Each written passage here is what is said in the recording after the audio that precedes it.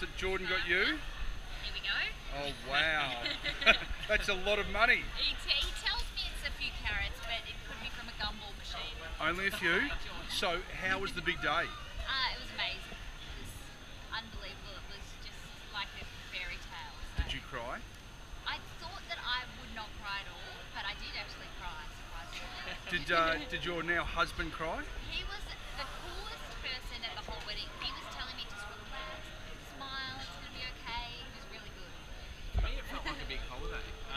my family, all Nat's family. Um, it was 40, I think 43 degrees on the day, so sweating it up massively. But um, I thought Nat was going to faint at one stage. Um, not sure it was she didn't want to get married or No, she no, was I promise. It was dehydrated. just, I was very, I was so nervous. I felt.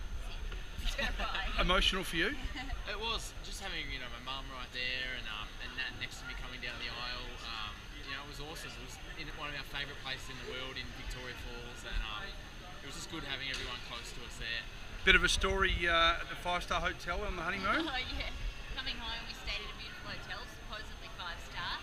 But um, on the last day, we found the biggest rat that would have been about that big. I won't say the name of the hotel because we did get to stay there for free in the end after the, the discovery. So. Now you you guys have been um, you're, you've been on television and still are. Jordan, you've played in front of an enormous amount of people at the MCG. How does this milestone rate for both of you?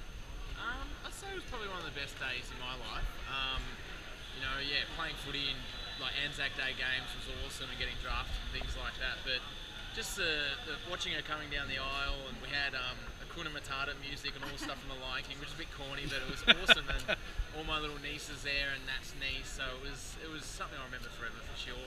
Nat, Well, it was definitely the most nervous I've ever been. No live Doesn't television compare to- thing, it just doesn't compare. It is unbelievable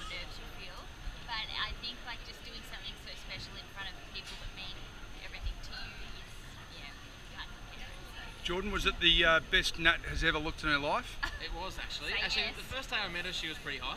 Um, but no, she um, looked brilliant in her dress, and um, so did her maid of honour, Mads, her sister.